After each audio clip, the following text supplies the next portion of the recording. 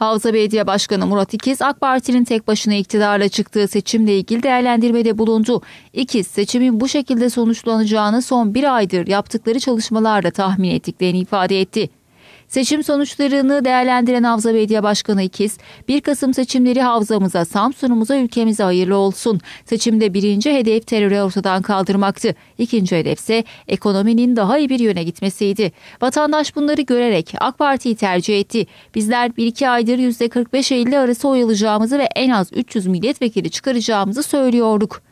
Özellikle son bir aydır yaptığımız gezilerde 7 Haziran seçimiyle 1 Kasım seçimi arasında fark olduğunu gözlemlemiştik. 4 yıllık sürede inşallah terör ortadan kalkacak, ekonomik istikrar sağlanacak. İnşallah 2019'a kadar hizmetlerimizde yola devam ediyoruz açıklamasında bulundu. Öte yandan Havza Belediye Başkanı Murat İkiz Haber Aksi Programlar Koordinatörü Sinan Sallabaş'ın sunduğu Samsun'un Nabzı programında yarın akşam konuğu olacak. İkiz'in seçim sonuçlarıyla ilgili değerlendirmelerde bulunacağı program saat 20'de canlı olarak ekranlara gelecek.